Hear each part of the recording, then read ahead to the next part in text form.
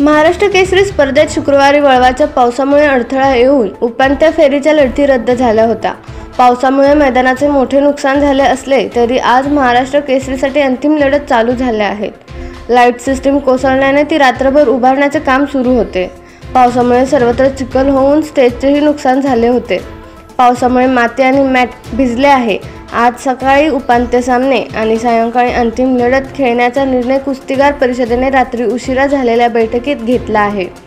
अंतिम महाराष्ट्र केसरीच्या आणि वरिष्ठ गटाच्या कुस्त्या सायंकाळी शरद पवार यांच्या हस्ते लावण्यात येतील अशी माहिती संयोजकांनी दिली आहे.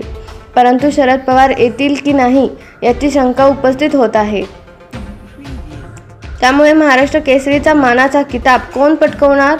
कुणाकुणामध्ये मुख्य लढत रंगणार याची कुस्तीप्रेमींनी उत्कंठा लागून राहिली आहे. याचा आढावा घेतला आहे आमचे प्रतिनिधी प्रकाश शिंदे यांनी.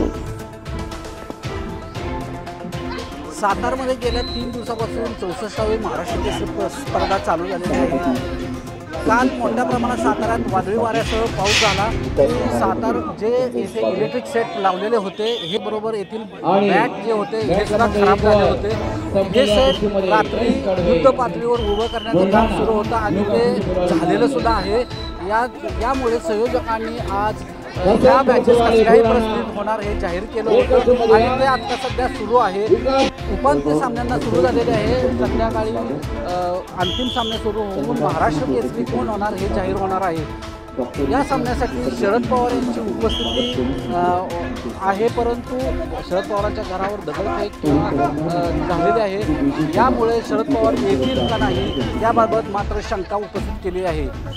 कॅमेरामन कुणाल खांदारेसह प्रकाश शिंदे सातारा न्यूज सातारा.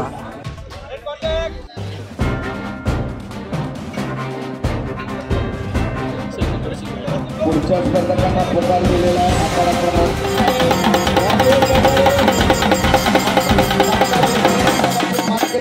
मामा भोसले उपमहाराष्ट्र केसरी पहिला पुकार. उपमहाराष्ट्र केसरी